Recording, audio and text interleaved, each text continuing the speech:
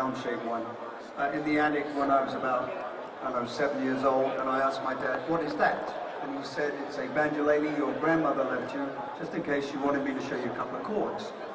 So I said, Dad, show me a couple of chords.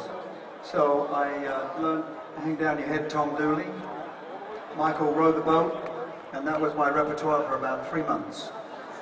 It was very boring.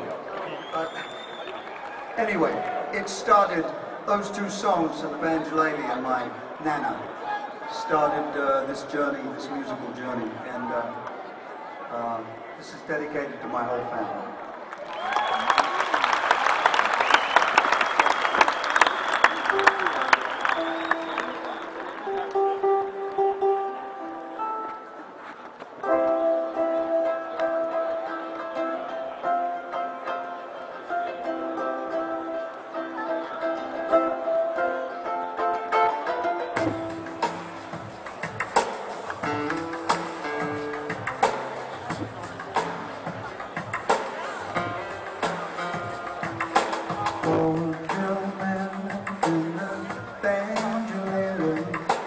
Waiting for me and the rain.